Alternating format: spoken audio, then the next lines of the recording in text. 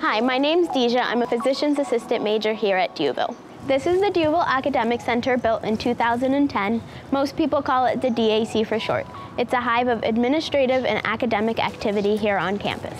DAC is the home of the D'Youville Admissions Department, so when you come visit us in person, this is where your tour will start.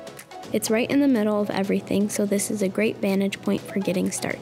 With a name like the D'Youville Academic Center, you know there's a lot going on here in the DAC.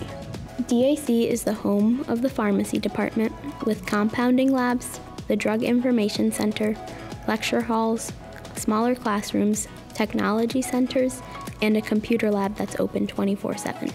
One of my favorite little tricks is to use the DAC computer lab for some quick work. It's a little closer to campus than the library, which is great when you're pressed for time. Another thing I really like about the DAC is that the classrooms are available to all students after 7, so you can use them to study. They all come with whiteboards, which comes in super handy when you're dealing with organic chemistry. The DAC is also the home to a cafe on the second floor that's great for a quick snack or a study break. You can pay with Spartan Bucks through your meal plan. D'Youville Academic Center also houses the Center for Global Initiatives. They do a great job of making sure D'Youville feels like home to students from diverse backgrounds. They also host on campus cultural events, study abroad programs, and the International Students Office. Stop by with any questions, they are happy to help.